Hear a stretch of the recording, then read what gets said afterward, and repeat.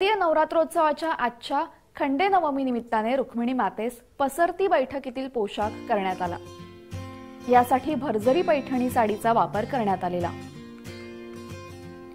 चार साड्या वापरत ही बैठक पोकाश पोशाख करण्यात आला.